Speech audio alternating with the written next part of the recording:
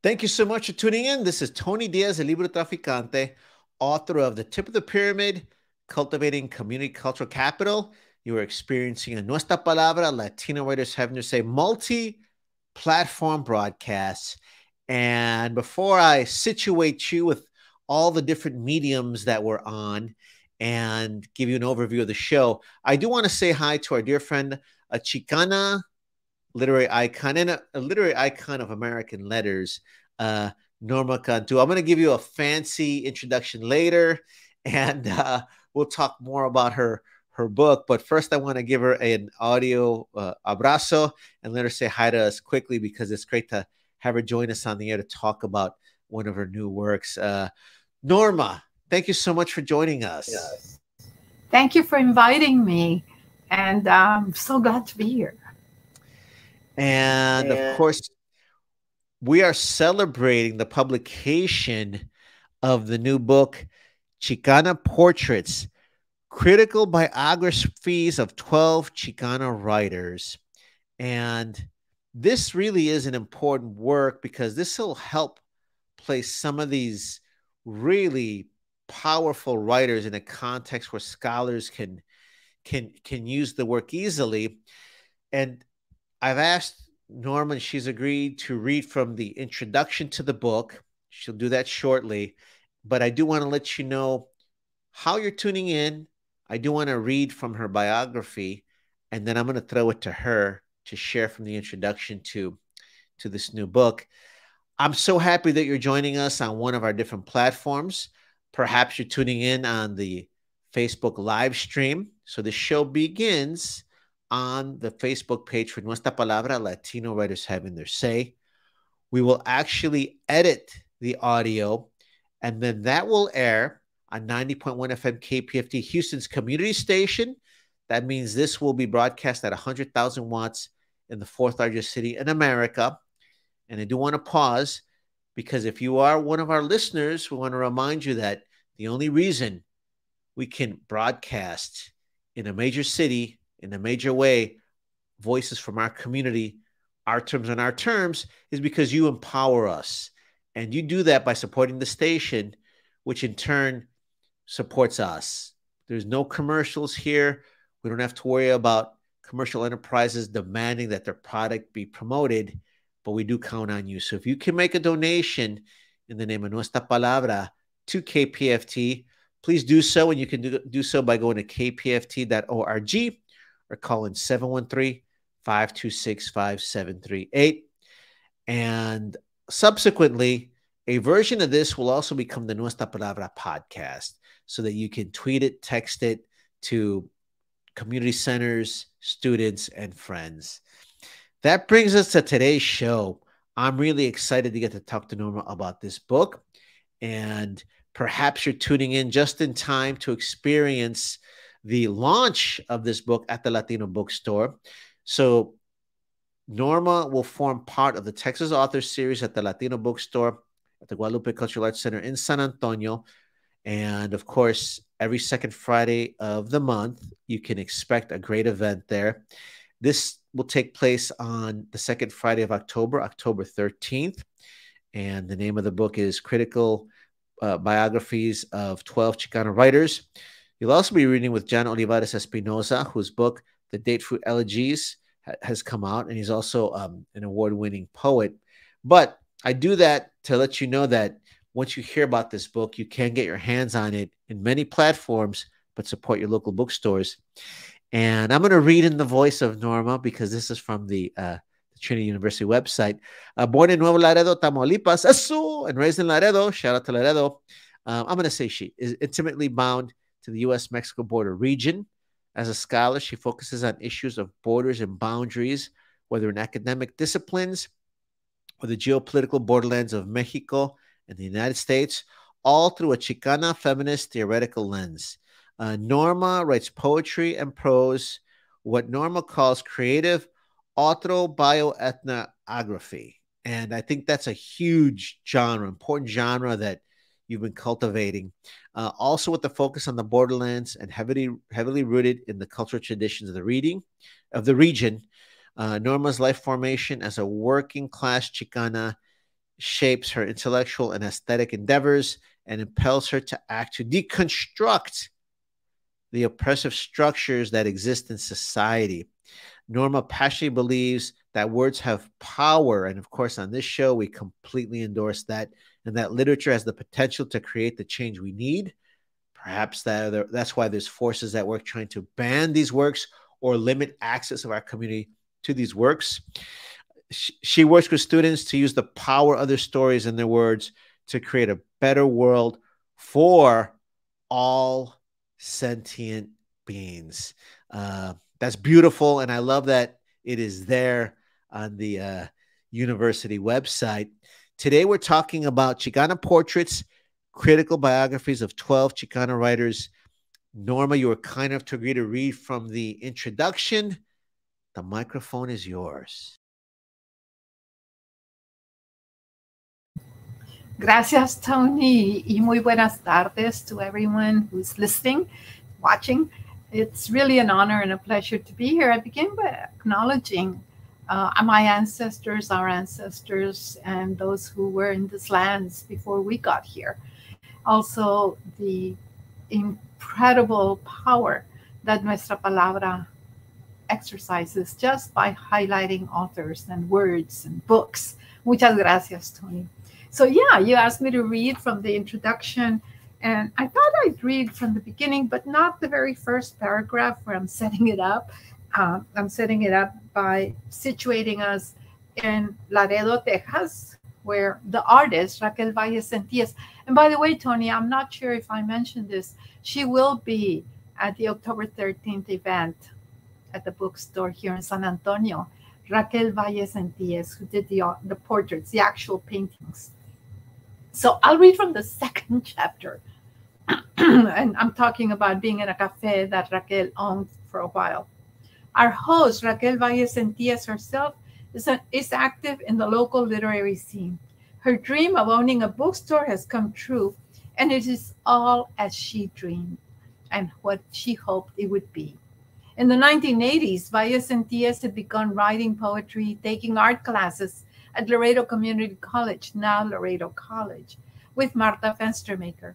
I was then a professor at Laredo State University, now Texas A&M International, and we, the literatontos, as some jokingly referred to us, were a handful who were keeping Chicanismo alive as we engaged with community projects that address the raging problems of the day immigration, illiteracy, erasure of our history, historic preservation, etc.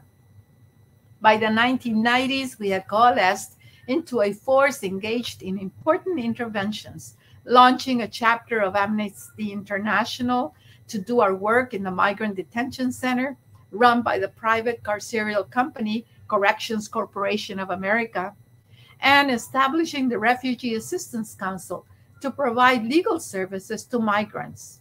It was the days of massive migration from Central America due to the US incursions into that region of the Americas. Many of our members were also involved in the feminist group Las Mujeres, and we hosted an annual conference called Primavera to promote and recognize the accomplishments of women in our community. I discuss Las Mujeres below as I contextualize the work of Café del Barrio and Raquel Valle Senties' important role in our Laredo community. Now, um, in a little bit of historical context, I talk about that cultural life. Cultural life along the US Mexico borderlands is anything but the wasteland some have described. Many who do not live on the border see it as a cultural desert, devoid of any literary or artistic activity. In fact, it is rife with cultural events and home to a rich and vibrant population of cultural creators that includes poets, fiction writers, dramatists, painters, muralists, sculptors, and many traditional artists whose ephemeral art, such as piñatas and elaborately decorated cakes, and more permanent, like landscaping, quilting, wood carving, attest to the varied and deeply rooted aesthetics of the community. Border art and literature are often political and expressive of the sociocultural reality of those who live along the border. groups spring up and create spaces for art as well as for political undertakings. Such activity is not new. It has deep roots in the cultural life of the borderlands. The history of Laredo, indeed of South Texas, attests to that cultural activity amid the always contentious political drama that have played out in our community. From its beginning in the mid 18th century, 1755 to be exact, Laredo has grappled with class issues and the legacy of a colonialist mentality that exists in all sectors of its social strata, a point that Elaine Pena makes in her 2020 book, Viva George, celebrating George Washington's birthday at the US Mexico border. Yes, George Washington's birthday is the reason for the city's main and incongruous annual celebration. I think I'll stop there on that introduction because what I do then, I talk about the Tlaxcaltecas who come to the area around the time that it is founded by the Spanish, but the in, including the indigenous who have been there way mm. before that. And because it is at a point on the river where it's pretty low sometimes and easily crossed, we have a lot of migrants coming through there. Uh, I talk about La Raza Party coming to Laredo about the constant political activity that was there and the artivism, the artists, activists in our community, like Raquel and others. Uh, I also talk about Las Mujeres, which was a group that was around, mm-hmm. I want to say 15 to 20 years. I'm not sure exactly how long, but it was pretty important uh, in addressing issues like illiteracy. We started the Literacy Volunteers of Laredo that's still going on 40 years wow. later. It's amazing. Yeah. So uh, the introduction also has an interview with Raquel Valle Senties about why she painted these portraits of Chicana artists. And I can tell you, for me, I was blown away when I when she told me this project. She painted Sandra Cisneros first, and then she painted me. and I was going, what? And then she tells me, well, you know, in the 19th century, the earlier eras, artists would paint the writers or photographers would photograph the writers. Mm. So she says, nobody's doing that for Chicana, so I'm going to do it. And she started painting and she ended up with 12 portraits altogether, wow. which is amazing. She had a couple of others that she didn't want included, but the ones that she wanted included, in, and I insisted, included one of herself because Raquel is a playwright and a poet, and why not? she's also an artist, so she she's in the book. That's amazing, That's amazing. And, I think, and I think one of the, one of the important roles that this book will play is to archive, document some of that history. But what I would love for readers and our audience to appreciate is that you are mixing many genres. Um, obviously, we as Librotraficantes and part of the Mas Tejas Foco uh, contingent have always been advocating for Mexican American studies. Sometimes that's perceived as history, and that's the formal discipline in the academic world. Um, sometimes it's imagined as Mexican American literature, but here you are combining the quotidian life that we want to hear about, these important movements that perhaps are not shared directly in other forms. And then I love too that you've got the visual arts component and mixing all of that in a in a very powerful direct way. So I do want to talk a little bit more about that in the overview, but I also would like you to tell folks um, I want to remind folks that perhaps they've seen you read and they love how you engage with the audience. So they may forget in ese momento, se olvidan que eres profesora, a scholar, an activist, and so many other things, because that would that's what happens. Right now, I want to remind them that you are a leading intellectual in the country and a scholar. Can you tell our listeners and folks why are critical biographies important in the world of academia? Why is it important for these Chicana writers to have those critical biographies. But I also feel like you're making this accessible to our community. Um, can you speak on some of that? Oh, of course, absolutely. And you are so right. Um, it's in a way the book is fulfilling a lot of different goals, including pro- giving us a history, a literary history of selected writers, not everybody, obviously, and selected female writers. We very consciously mm-hmm. focused on the women. And, for ejemplo, Angela de Hoyos, critical intervention here in San Antonio and for the Chicano Studies, Chicano movement, because she and her husband, Moises, established the printing press. And so many authors were published first with Angela and Moises here in San Antonio at M&A Editions. I mean, writers like Max Martinez, uh, Yolanda Broyles Gonzalez was here for a while. She was publishing with them. And even Raquel, Raquel's, Raquel's a poet, like I said, and her first book, Soy Como Soy Que, was published by M&A Editions. So it's a lot, also literary history and a history of the movimiento, if you will. It mm. starts with the book starts with Angela de Hoyos, ends with Demetria Martinez because it's told chronologically. So it is a, history, as it were. Uh, the role of the scholar, in my view, should not be this ivory tower distant from the messy world we live in, especially when we have such a need to look at how messy it is and what makes it so, and all the intersections of oppression that are there for our community. So the critic, the literary critic, has a dual role. Yes, mm. it's an intellectual pursuit, but it's also highlighting the life of that author mm. and how that life is intertwined with the community. And the 12 people that I chose, because pretty much I asked people to write the critical biographies, and all of them, no one said no. Of everybody I asked, no one said no. Wow. And all of them talk about the writing, talk about the life of the authors, and they talk about themselves in, in some way as intellectual activists, if you will. They don't call it mm-hmm. that necessarily, but that's how I see them. Because in documenting the literature, in documenting the authors, what they're doing is becoming part of that history, of that literary history. So a critical biography is important. You asked why? Well, two things come to mind. One, it establishes the writer in the literary canon as an important writer. Although some of the people in here, I mean, come on, Sandra Cisneros, they're already in the canon, right? But there's Montserrat Fontes, I think a really important border writer, born in Laredo, but is in California her novels about the border are, are treasures, and yet very few people know about her.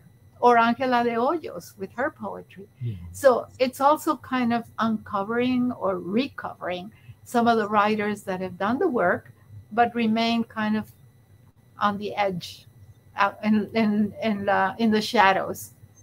So mm. that's what the literary biography, critical biography, does. It analyzes the life and the work. I hope that answers your question. That does. That and does. I really appreciate that appreciate perspective, that. especially for folks who may be tuning in and maybe are not in the academic world. But I also want them to understand that you've shaped this in a way that is very much something that someone at a community center or someone from uh, outside academia can enjoy. But I don't want them to lose sight of the fact that this is another way to implement Mexican American studies in a way, uh, Chicano studies in a way. Um, and I want to remind our listeners that you are tuning in to one of the intellectual leaders of the country, a giant in American letters, Norma Cantu. And we are broadcasting this during prime time on KPFT 90.1 FM, Houston's community station in the fourth largest city in America at 100,000 watts. And we're not beholding to any corporate sponsor, we're beholden to the people. So, right now, I want to remind folks that this can go away.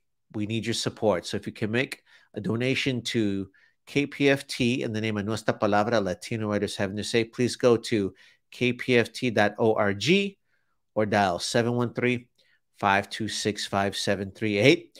We are talking about a powerful, a powerful new book, Chicana Portraits Critical Biographies of 12 Chicana Writers.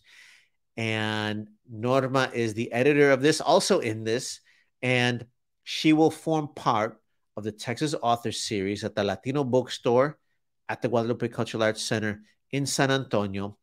And the big events are every second Friday of the month at the Latino Bookstore. This will be the second Friday of October, October 13th. And also reading that night will be John Olivares Espinoza, reading from the Date Fruit Elegies, and also complying with the requisites for his San Antonio Creative Writing Grant. Um, and I want people to know too if you're watching this broadcast after the fact of the reading, don't be too sad. One, you're hearing about this great book anyway. Two, you can share this. And then the Latino bookstore will keep in stock signed copies of this amazing book. And I hope that people will then spread the word and take that next step in replenishing underground libraries, public libraries, and family libraries with this book. Uh, uh, nor, oh, nor, oh, I was just going to say, yeah, I was just going to say how important it is, I feel, that we know the authors, the Chicana authors. We may know Sandra Cisneros, but there's biography in here. And they and the, a little bit about each of the books. The same thing with Jen. Jen wrote the essay, by the way, on Carmen Tafolla, the first poet laureate in San Antonio. Uh, Carmen Tafolla, many of you know, has an incredible trajectory. She's such an activist and such an important writer in our community. Well, her portrait appears, and Jen, uh, she was amazing. She wrote the essay on her.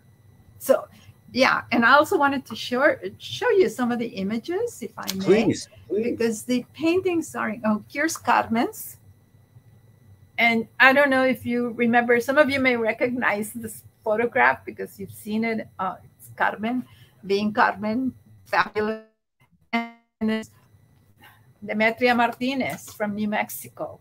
Demetria is also a novelist and a poet, wonderful journalist uh, some of you may remember her work because she was in the 80s in, in tried for um, transporting undocumented uh, immigrants with a priest. And if you've ever heard her talk about the trauma it was that her words, her poems, were used against her. I mean, it's that could kill the writing, but mm-hmm. she survived it and she's still writing. Uh, Cherríe Moraga. There. another powerful voice, another powerful activist, Denise Chavez from Las Cruces. She her, her, essay is also amazing. It was written by Mariah Gomez, another Nuevo Mexicana. She got her PhD here in San Antonio at UTSA in English, and she's a professor at UNM in Albuquerque. Just amazing, both the writers of the biographies and, of course, the writers the biographies are about are just amazing people. Here's Montserrat Fontes. So, and the one that wrote Montserrat's biography is Mary Pat Brady, who's a professor at Cornell University, a wonderful scholar, feminist. I mean, all of these writers. So it's not necessarily academic, it's very accessible. Anybody can pick it up and learn. Okay, so you read House on Mango Street. Now read about Sandra, mm-hmm. who she is, what else has she written? And so it's kind of fleshing out some of those questions you may have when you read a book. I, I want to remind I folks to remind folks. several of these writers, Chicanas, were on the um, stellar Tucson Unified School District Chicano Studies, Chicana Studies um, curriculum that was banned by right wing legislators in Arizona back in 2012. Um, of course, all of us united to to fight that. We were happy to become Librotraficantes and smuggle some of those books back. But I mention it because um, you know, Demetria Martinez is a dear friend of Nuestra and the Librotraficantes. Her books were among those. Um, as you mentioned before, she was attacked in uh, in court for her words. Um, you know, you've got Gloria Anzaldúa in there as well, Sandra Cisneros, Carmen Tafolla. Denise Chavez is a dear friend of Nuestra Palabra and the Librotraficantes, and we had a, we, the Librotraficante Caravan stopped there in Mesilla, Nuevo Mexico, where she has a bookstore out también. Um, so I mention all that because there's two things I want our listeners to appreciate. One, while we were helping our brothers and sisters in Tucson and uniting with folks from across the Southwest to defy that ban, I noticed that there were different lists of the banned books. But when um, Dr. Elaine Romero created the annotated bibliography of the banned books, that gave it a certain gravitas or credibility that all of a sudden other lists did not, have, did not have, and that people, and started, that people using started, using in classrooms. So I say that because people should understand that Chicanas accessing these elite forms helps spread it in different ways. The other thing, the other thing I would add as well is that I think what your work is doing here is reinstituting these voices into academia, high schools, where they were removed. We don't have time to talk about this. I would say not replaced sufficiently, but here are these voices again, like you said, that can be studied overall. You want to talk a little bit about that?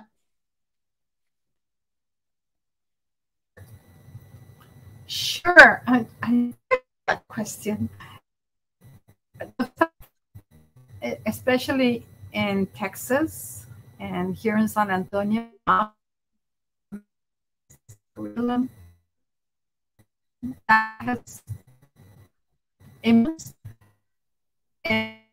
this book, but the writers in the book, the authors, are also mm, voices that we need to hear, voices that our students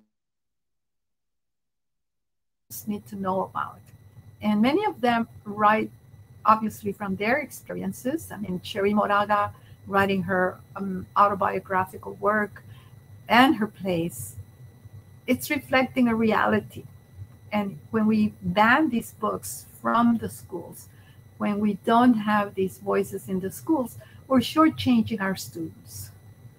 We're not allowing them access to their history. And of course, the one that everybody talks about, and especially in Arizona, is the success of Mexican American Studies and not high school, and how it added so much for the students to see themselves in the books, in the literature, in the history, and thereby gain self confidence and succeed in school. It's it's a no brainer, and I I can't imagine not wanting that to happen. Of course, the rationale that is used and i'm now going to get to something else it's not in the book but you know the whole banning of books even now in schools like in fredericksburg texas at the library or in some of the school districts that we hear about why is it why is there fear of these voices coming into the classroom i'm not i don't get it i just don't understand that or the the attack with the senate bill what was it, 3979, the one on the critical race theory. It mm-hmm. just baffles me that somebody would want to curtail knowledge, learning. It, it just doesn't make sense. Sorry, I'm getting going off on a tangent here. But yeah, in a way, I think that the authors in this book, many of them ha- were banned, and in not just in Arizona, but in some of these other books, other um, spaces but they represent something really critical, and that is our knowledge, mm-hmm. who we are as a community, as Chicanas, um, what we bring to the conversation. So yeah, I, I really don't get me going on that because I get all upset about how people, you know, I used to work a lot on literacy in Laredo. We started uh, Literacy Volunteers Laredo and for 40 years now, that organization has been there teaching people to read in English And amazes me how people don't read who know how to read. I mean, I understand that if you don't know how to read, right. But if you know how to read, you still don't. There's something wrong with that picture. And unfortunately, that happens more and more. Yeah. And I want to remind folks remind that folks. you're touching on some of the issues that we've dealt with here on the radio show and through live actions. Uh, right now, I call it a, a, culture of censorship. You alluded to one of the laws here in Texas implemented to attack this imaginary critical race theory curriculum, which is not being taught in kindergarten. Um, but there's another one now, House Bill 900, that will, uh, it's been stopped by the courts as of this broadcast. Um, but that's supposed to force books that sell, I'm sorry, bookstores that sell books to um, to schools to implement a graphic sexual rating system and putting all the work on bookstores as well as school libraries and if you think about it, um, I'm sure at some point there's going to be debates on, well, is holding hands sex- sexually graphic? Is, you know, Latinos kiss on the cheek. Is that kiss sexually graphic? Is staring in each other's eyes sexually graphic? And um, I was on a panel with uh, the president of the Texas ACLU, and she pointed out that in every slave narrative, there's a discussion of rape. Is that sexual uh, graphic material? Um, and and again, we've alluded to the past ban of uh, Mexican American Studies in Arizona, which was overturned. And I do want to mention, you mentioned what's going on in Fredericksburg. Shout out to Christina Granados and folks over there trying to defy that, but also Katy ISD is making a lot of attention. And the last thing I'll say, um, Norma, because you're right, that's not the topic. We do address it. We must allude to it. Um, here in Houston, Texas, Houston Independent School District has been taken over by the state of Texas. And part of the move to increase the test scores of the schools in Houston is to take school libraries and turn them into detention centers uh, where students go to be punished. I'm going to stop there because that's topics for the shows. I don't want to depress people. You can defy all this by supporting public libraries, underground libraries, and family libraries. And one way you can do that is by getting a copy of Chicana Portraits getting it signed. The book is titled Chicana Portraits Critical Biographies of 12 Chicana Writers. Get it signed, make it a story. We hope that you will join us with uh, Norma Cantu at the Latino bookstore. It's going to be the second Friday in October, and that is Friday, October 13th at the Latino bookstore at the Guadalupe Cultural Arts Center in San Antonio. Believe it or not, it's free, right? Um, but what I want to encourage you to do is to help supplement other libraries, other readers, because this is such an important book that can form the basis for the beginning of a family library or a community center can begin to give classes to that extent. And wouldn't it be great for them to get a a classroom set of, of the material? I want to bring it back to to the book itself, uh, Norma. If you can walk through it too, because I want people to understand that you've got a scholar from our community because some of the names you've mentioned who wrote the pieces, I know them. I love it. I know Jen. She's awesome. Uh, we had we celebrated her book of poems at the Latino bookstore. Um, she's writing about Carmen Tafolla, who I just saw, and she was at the Latino bookstore. Um, I, I love that. And now you've got the painting, so they're portraits so this combines so many different disciplines. Mention a few of the other writers and how you came up with combining these things. And then also I'd love for you to read from from your essay.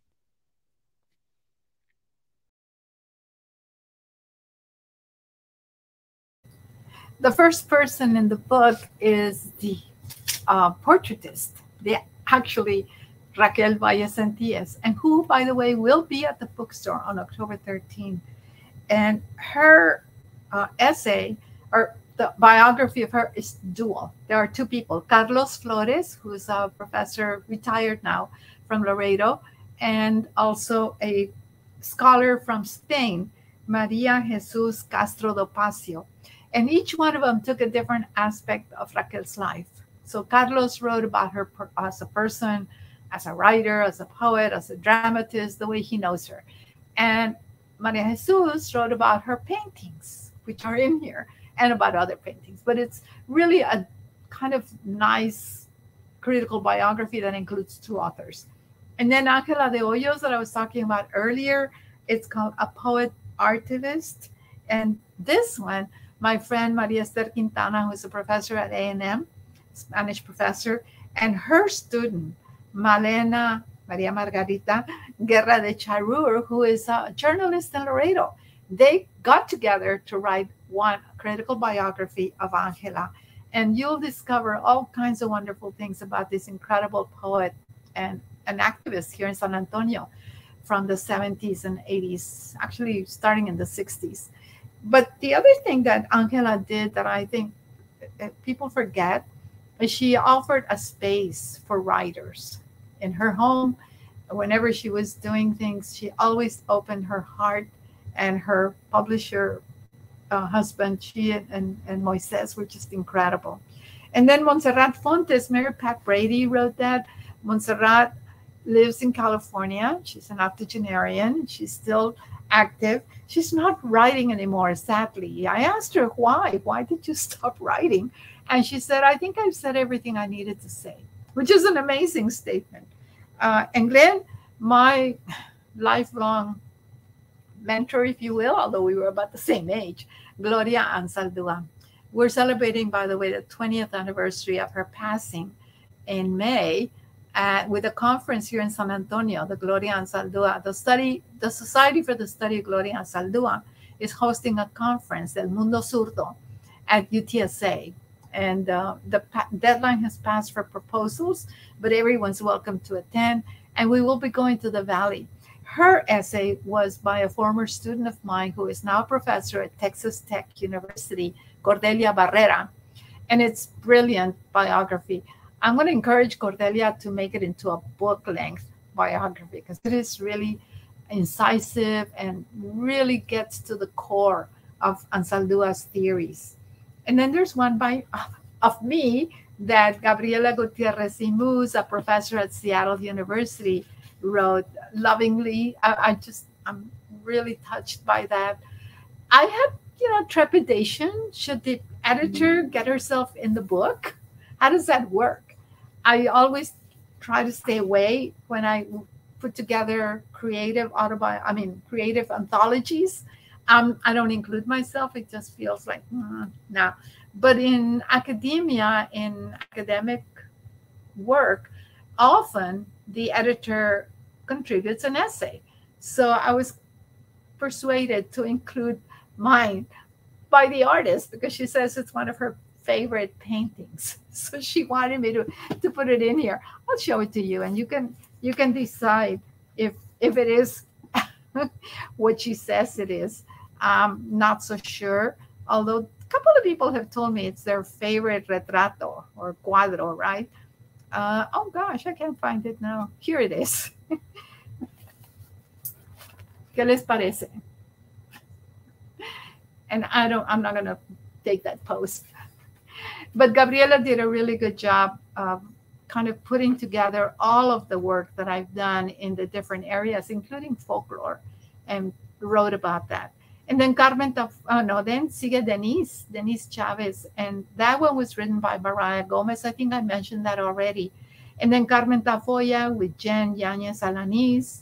And Cherríe Moraga. Cherríe's piece is beautiful, uh, written by Lourdes Torres. Lourdes is a professor at DePaul University in Chicago and has written about Cherríe elsewhere. So she was a natural to ask to, to contribute that biography. Ana Castillo is an amazing critical biography by a young, new Chicana scholar, Megan Solomon, who is a brand new assistant professor in Georgetown at the university there, here in Georgetown, Texas. And then Lorna, Lorna Dee Cervantes, also incredible poet. And Elisa Rodriguez wrote that one. Elisa is also a professor. Uh, it's a really beautiful tribute to Lorna, the poet. It se llama No Self, but in other selves. I haven't been giving you the titles of the biographies. Uh, Sandra's is written by Georgina Guzman, and it's Sandra Cisneros, colon, rebel mentor for generations of hijas de la mala vida with a social consciousness. I think it's the longest title in, in the whole book, but it really captures um, Sandra's work and, as a mentor, but also as a writer, obviously, and her social consciousness. So it's it all ties it ties it all together. And finally, Cristina Herrera, who usually works with uh, children's literature, young adult literature, but she also has done work on Demetria Martinez. And so she wrote the critical biography of Demetria Martinez. And you said to read about mine. I'm not sure I want to read about mine. I'll read you the title because it's very kind of witty. it's Normalizing. What is Chicanx? A life of beautiful norms in the interstice. And I think Gabriela was having a lot of fun with playing with words to give it that title. Um, she's very generous with her analysis, and she talks about how other scholars have written about my work, and she in. She of course focuses on probably the book everybody knows that I wrote, Canicula, Snapshots of a Girlhood in La Frontera. But then she also writes about Cabañuelas, and she writes about Meditación Fronteriza, my collection of poetry. Um, she quotes, she puts poems in here. I'll read a, a, one of the poems. She includes an excerpt from. It's called Living in Dangerous Times. We live in dangerous times, times that call for dangerous measures, that call for witnessing and protesting like we did in 1911 when they were lynching us in South Texas, brown bodies hanging from trees, like we did in 1972 when they were killing us in the rice paddies of Vietnam and the highways of Aztlán. And she includes that in her analysis because she's looking at how my poetry kind of speaks to what's going on in the world. Um, I don't know. It's just, I was very honored that she wrote those words and, and caught, you know, some, some writers or some readers just never get you. She got me. she got what I was trying to say, what I was trying to do. I would say the same thing uh, on Gloria Anzaldúa, Cordelia Barrera's biography of her, a critical biography, captures what Anzaldúa was doing in the 1980s and then subsequently with her other work, trying to capture that South Texas ganas, uh, the way that we in, in Texas speak, the way that we in South Texas deal with the world and with our history. So I think the authors, the critics, are also incredibly important to recognize. And I, Tony, thank you so much for bringing um, books like this one to the attention of, of your audience because it's not like a novel or a collection of poems, it's an anthology, an anthology of portraits, the paintings, but also portraits, the biographies. And I think um, I was speaking, I think, with Rodrigo earlier about how I, I like to break genre molds and kind of break out of like either just one or another. So in other edited work that I have, I've also included photographs. I've also included paintings. There's one um, called Moctezuma's Table, and it's about Rolando Briseño's artwork, where I have essays about the work, but we also have the beautiful artwork. And then we have Liliana Wilson, an uh, artist here in, in Texas same thing. We have her biography and we have images, many images, 60 some, but also essays by art critics and scholars and, and people who know her and love her, including Anzaldúa. So I'm, I'm saying that in this book, again, I break with some of the rules and do something different. The um, authors are listed here, the, the authors that are being highlighted. And in the back, we have the, the critics who are writing the, the biographies because both make up the whole. You can't have one with the other. Oh, I don't know. Maybe I went off on, on a tangent.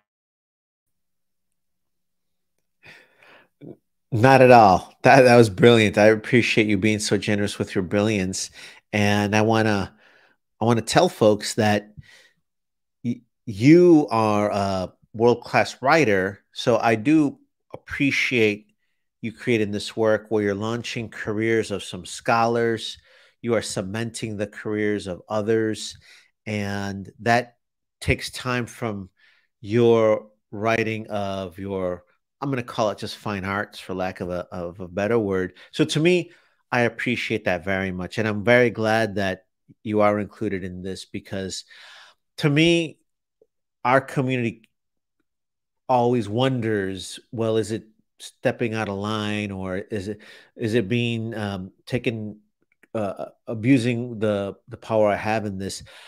I don't want you to be punished for your expertise and there's so few of us that have access to be able to to do this sort of work that that makes you part of the work too. So um so by all means it is important that you're in this book for all that you do. And i think it's also uh, wonderful that you've made it so so artistic as well. So uh thank you so much Norma for joining, us. joining us. i want to give another give another shout out to the book. to the book. We are celebrating we are celebrating chicana, Chicana portraits portraits. critical biographies of 12 chicana writers. And you can also get your signed copies by uh, visiting the Latino bookstore at the Guadalupe Cultural Arts Center in San Antonio. And Norma will form part of the Texas Authors Series, which takes place every second Friday of the month in 2023. And in October, that is on Friday, October 13th. And you mentioned there'll be some of the contributors and artists from that book as well. So thank you so much. Uh, any any parting words, Norma? Pues nada, just thank you again con de todo corazón. Thank you very much for the invitation to talk about the book. And thank you for the work you do. Um, Saldua said that we must do work that matters, vale la pena. And I guess in response to your comment about how I could be writing my own books, right, instead of putting together these anthologies. But in a way, I see that as my life's work to highlight other writers as well to bring others up along with me and to make them known to audiences that may not know them. And so, yeah, and this is an intergenerational book. As you noted, there's brand new Dr. Uh, Solomon, who just got her PhD, and then some established authors and critics like Mary Pat Brady and some others. So, yeah, it's I have no regrets about doing any of it. Al contrario, I wish I had more time to do more of it. And it's part of my life's work. It's my mission for being on this earth to do the work, the work that matters, to do the writing, definitely, and to share that writing in whatever way I can, like tonight with your audience. And uh, whenever, I, either through the live um, Facebook Live or Nuestra Palabra or on October 13th at the bookstore. It's just part of the, of the reason that I do what I do. So, muchísimas gracias. It's been an honor and a pleasure. Thank you so much for all the cariño and for being so generous with your brilliance. Uh, speaking of being generous with their brilliance, I do want to thank part of the Nuestra Palabra team. It's a huge team. Uh, I want to thank Rodrigo Bravo Jr., who is our sound engineer and does so much for Nuestra Palabra. Also, Roxana Guzman, who's our multi platform uh, producer. And Liana Lopez, Brian Paras, Lupe Mendez, Laura Costa, who were also co founders of Librotraficante, but are also part of our leadership team. And then also Mark Anthony Pignon, Mark Sedgwick. Uh, we got Carolina del Carmen, Lisa Atencio, and so many others uh, eh, who are helping to get the word out in different ways, shape, or form. And I want to thank all of our listeners on 90.1 FM KPFT. One last call. This was a fantastic show. I hope you enjoyed it. And I hope you'd like to hear more shows like this from now into the future. And you can assure that by making the donation to KPFT in the name of Nuestra Palabra. And you can visit kpft.org or call 713 526 5738. I'm Tony Diaz, the Libre and we look forward to seeing you behind the book. Thank you. Buenas noches.